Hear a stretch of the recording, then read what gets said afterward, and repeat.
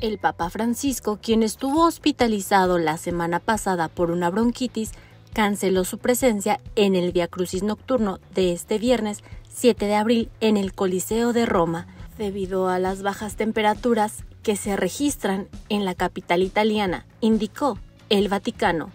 Se espera que las temperaturas en Roma sean de 10 grados centígrados el viernes por la noche, la temperatura ha bajado en los últimos días y el jueves 6 de abril cayó una ligera nevada en las afueras de Roma. El jerarca católico de 86 años de edad seguirá asistiendo a un servicio de Viernes Santo bajo el techo de la Basílica de San Pedro, dijo el portavoz del Vaticano, Matteo Bruni. Es la primera vez que el Papa no presidirá el servicio del Via Crucis desde que fue elegido en 2013 el Vaticano dijo que Francisco seguirá el servicio que suele durar más de dos horas y al que asisten miles de personas.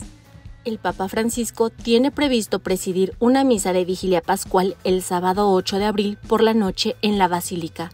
El domingo 9 debe estar en la Plaza de San Pedro para una misa de media mañana.